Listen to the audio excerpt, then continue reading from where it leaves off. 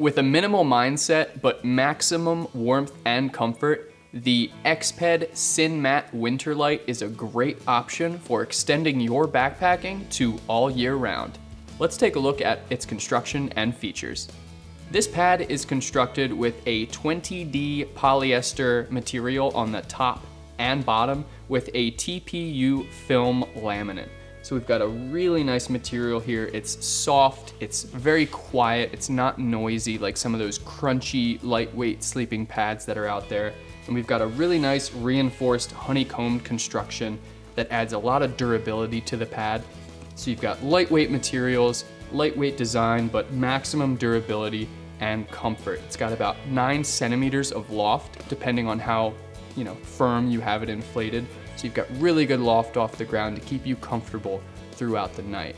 You've got a nice tapered design in the head and in the foot box, so that allows for maximum space savings in the tent as well as in your pack. So you've got excellent construction here for that minimal mindset. We do have 200 grams of insulation on the inside. It's a Texpedloft microfiber insulation. So that is a synthetic insulation, so should it become wet or take on some moisture, it will still maintain its loft and insulating properties. So you've got really good insulation inside the pad. Brings it to about a 4.9 R value, so you can definitely extend your camping to four seasons. Some other things I wanna mention about this pad. Um, as far as inflation goes, Exped recommends using some other form of inflation rather than your breath. Your breath can introduce moisture to the materials, which could reduce the life of them and make the pad not last as long as it should.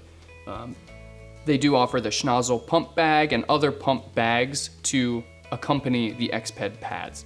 This one doesn't come with it, it is sold separately, but they are available.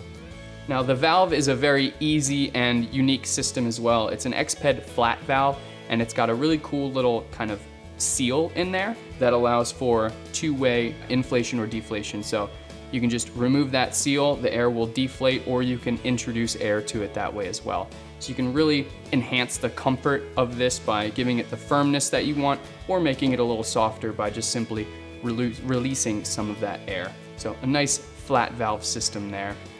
This pad does come with a stuff sack, as I mentioned earlier, and in that stuff sack, there is a small repair kit and instruction manual. So gives you some tips on how to use and maintain the pad as well as a little field repair kit should you need to use that out in the back country. So there you have it. It's the Exped SynMat WinterLite. Super lightweight, nice minimal design, but maximum warmth and comfort for extending your backpacking to four seasons.